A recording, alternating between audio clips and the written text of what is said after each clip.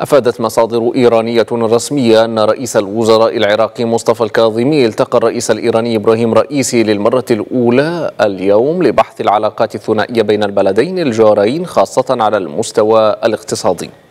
وقال رئيس الوزراء العراقي بأن اللقاء شهد نقاشا هم بعض الملفات الاقتصادية والمشاريع الاستراتيجية بالإضافة إلى زيادة حجم التبادل التجاري بما يخدم مصالح الشعبين ومن المتوقع أيضا أن تغطي المحادثات أيضا التأشيرات الصادرة للزوار الإيرانيين لإحياء ذكرى أربعينية الإمام الحسين.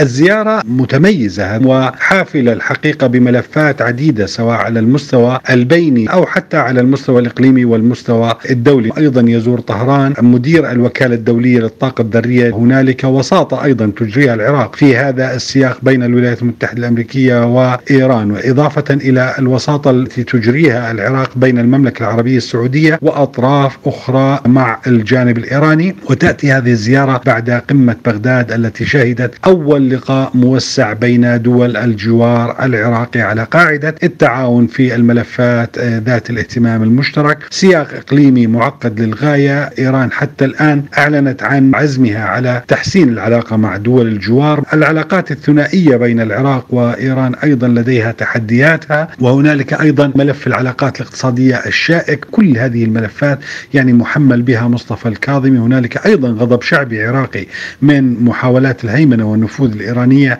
في العراق. كثير من الملفات يجري نقاشها في هذه الزيارة التي تعد أول زيارة تجري من أي رئيس وزراء في المنطقة والعالم إلى إيران بعد حكومة إبراهيم رئيسي. وما ينبثق عن هذه الزيارة سيكون مؤثرا وموجها إلى العديد من الملفات التي أشرنا إليها.